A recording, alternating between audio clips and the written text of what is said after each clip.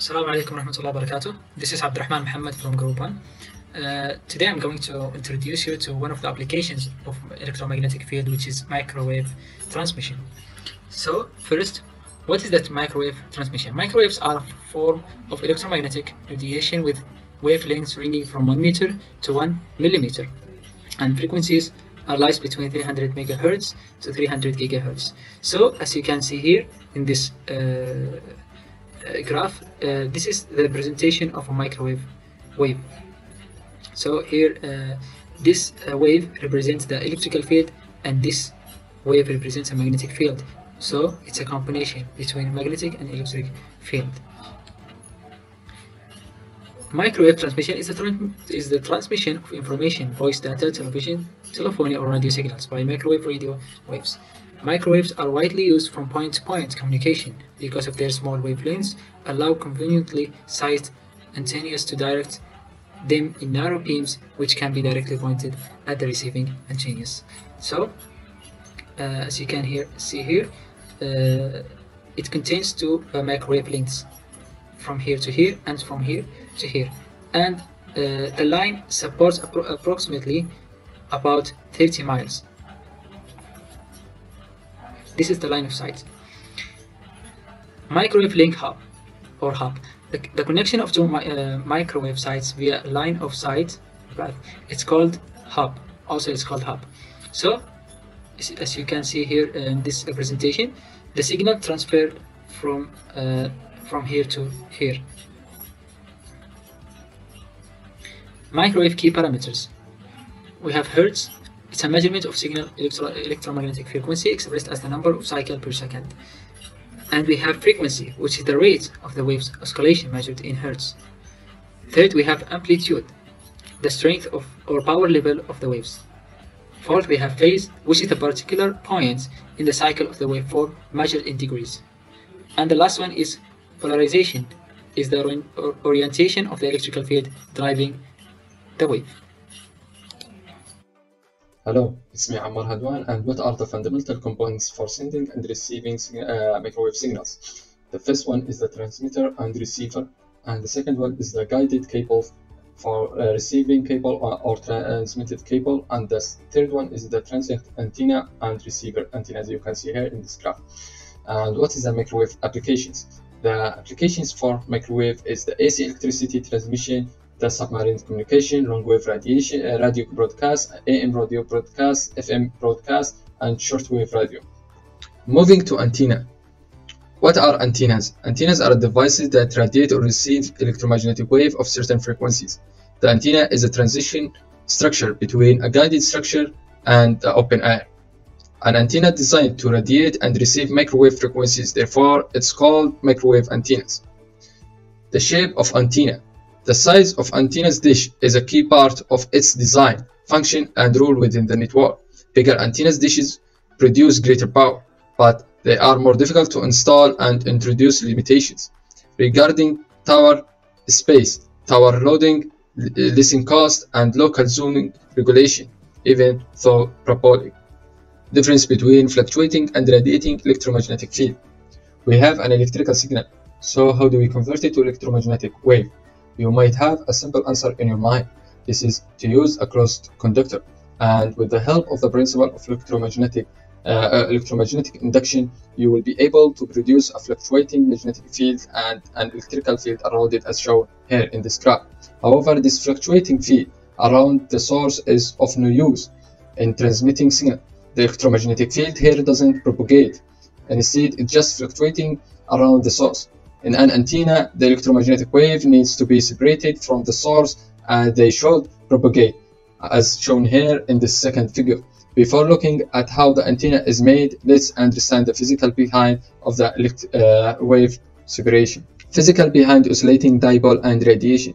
Consider one positive and one negative charge placed a distance apart. This arrangement is known as a dipole, and they obviously produce an electrical field here as you can show here in this graph.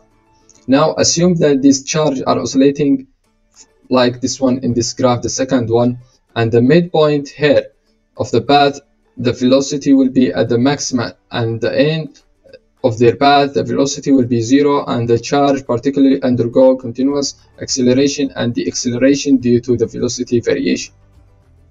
The properties of microwave length. Microwave are the waves that radiate electromagnetic energy with a shorter wavelength. Microwave are not reflected by ionosphere.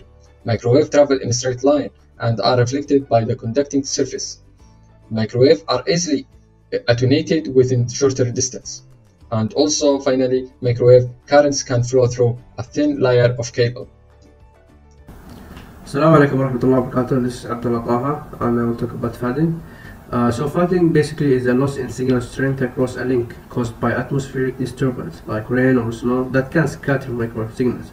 The lower frequency microwave bands over the greatest possible distance and it's uh, theoretically allowing for links in excess of 50 km.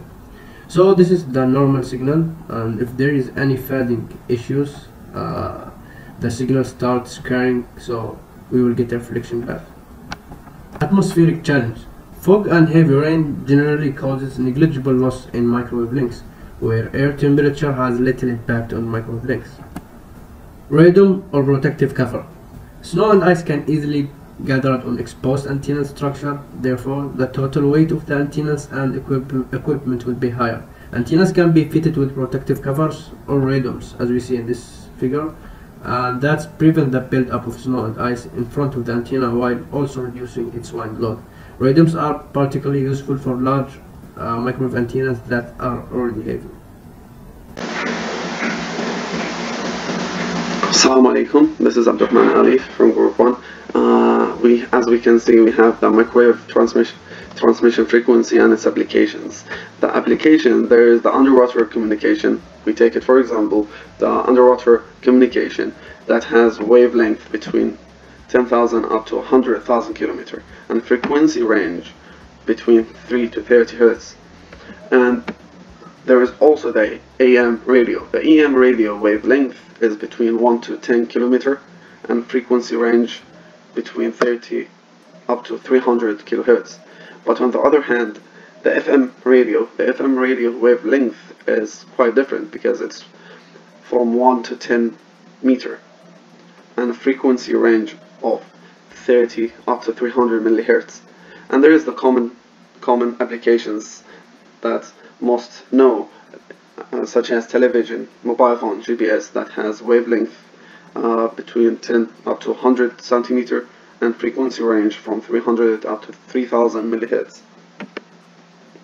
Low and high frequency. Low high frequency. The low frequency uh, microwave bands offer the greatest possible distance. Why does it offer the uh, possible the greatest possible distance? Because in telecommunication, the frequency and distance are inversely proportional to each other which means in high frequency you will have less distance, but in a low frequency you will be having higher distance.